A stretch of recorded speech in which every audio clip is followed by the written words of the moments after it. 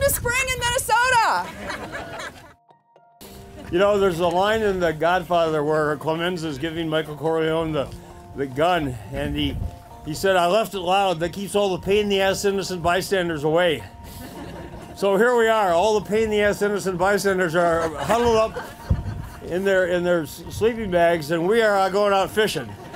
And we're going to catch fish. It's pretty incredible. I mean, you've seen the people that were here this morning. The crowd was incredible. It's 34 degrees out right now. It's cold and windy, and Minnesotans love their walleyes. I can't wait to go fishing, to be honest with you. I've never been on this body of water. It will be a challenge. I got three pretty cool guys to meet today. I think we're going to catch some. It is Minnesota.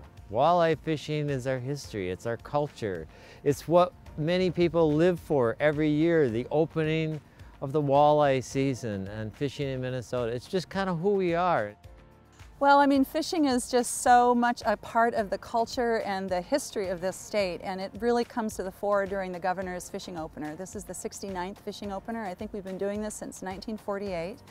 And you know, especially when you come to communities like McGregor, but any year, wherever we go, and you see the whole community come together, the folks that turn out to be um, fishing hosts and the volunteers and the people that fix up the fish fry. And it just is a, um, it's just a tribute to the importance of community and how fishing is such a part of that community feeling in this state. You know, living in the community and born and raised in the community, you know, you kind of know who your go-to people are. And so we put that together and we've diligently been working on that for, for about 10 months and just really being rewarded right now, seeing it all come together and it's just been fabulous.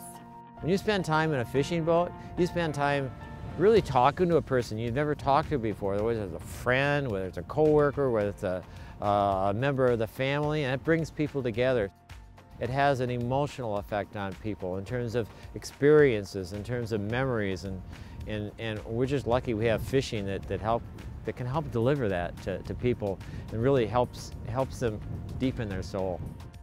It was it was a thrill of a lifetime. I just it was it was so much fun. I really I really enjoyed it. You know, people say, "Oh, you got the pressure. You got to get them a fish. You got them get a fish." But uh, it was totally relaxed atmosphere in the boat, and you know, just general conversation. And it was it was really a lot of fun and he, he caught a walleye. He did. He got he got about a 15 inch walleye. Um, he also caught a couple perch and a crappie, and so he was having fun. He was having fun, and that's and that was the main thing. I wanted to make sure the people I had in the boat were having a good time, and uh, it seemed like they did. They seemed very happy.